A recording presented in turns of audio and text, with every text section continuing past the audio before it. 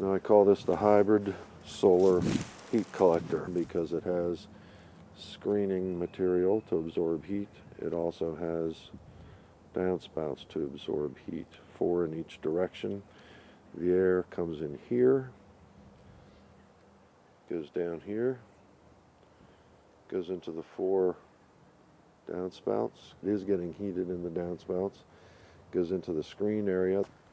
Hopefully the screening is getting hot also and heating the air. Then it goes back into the downspout return and continues to the outlet, which is this, this area right here. And that's the outlet right there with the thermometer on the top of it. And again, this is 30 degrees, 10 minutes to 11 in the morning.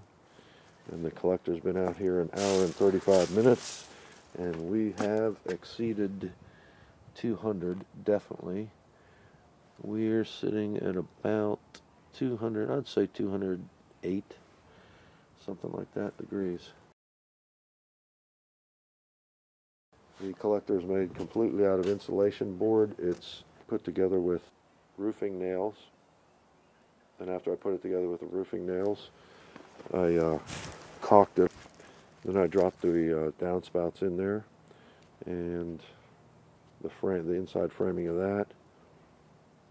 Caulked all that, painted it all black, taped it up with this tape, dropped a piece of uh, plexiglass on it, which you can see is cracked.